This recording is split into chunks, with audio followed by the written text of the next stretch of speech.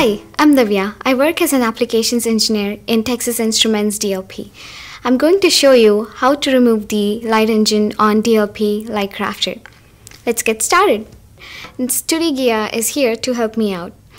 So remember that by taking the steps we show here, you'll avoid the warranty on the LightCrafter. First, we'll remove the systems board by unscrewing the top screws on the four corners.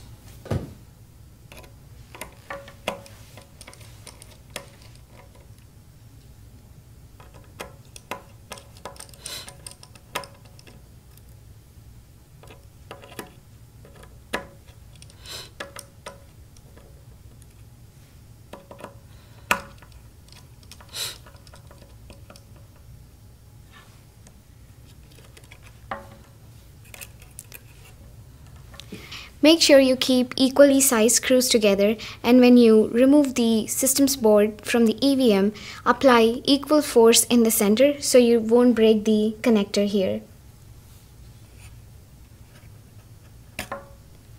Okay, now flip the LightCrafter and you'll see there are four screws which connects the light engine to the thermal plate.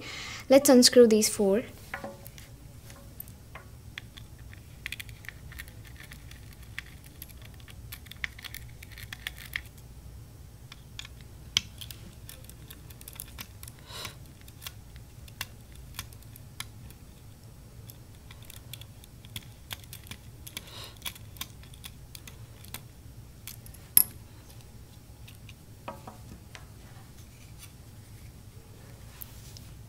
Now we have to remove the three screws on the light engine which connects the light engine to the thermal plate and use a mini screwdriver it will be easy to get in and get the screws out.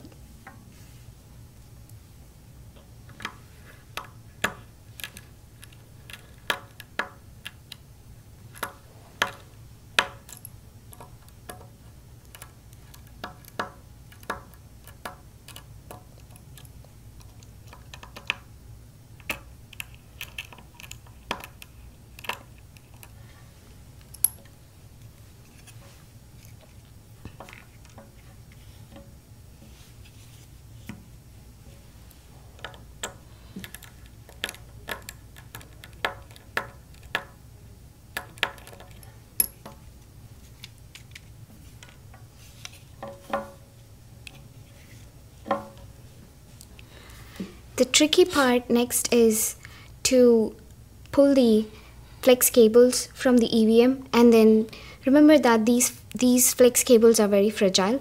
So lift the plastic tab up and then you can use the tweezer to move the flex cables out. And now there are two screws which connects the DMD to the EVM. So we have to remove these two screws.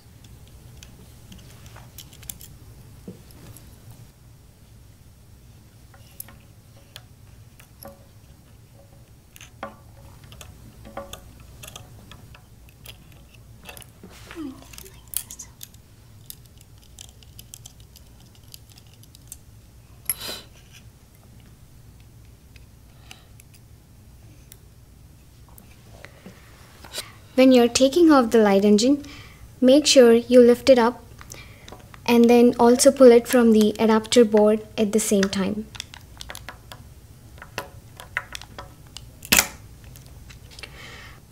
Once the light engine is off, you'll see a steel plate which is holding the DMD. So unscrew the two tiny screws here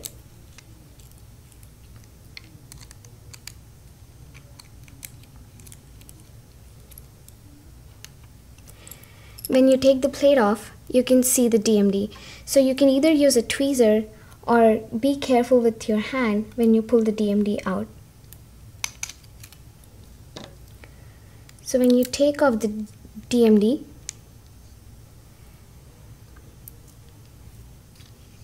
keep the light engine aside and then when you look at the adapter board, you can take the DMD and then the triangular notch on the DMD should be towards the right and carefully insert the DMD back into the adapter board and, and the orientation should be taken care of.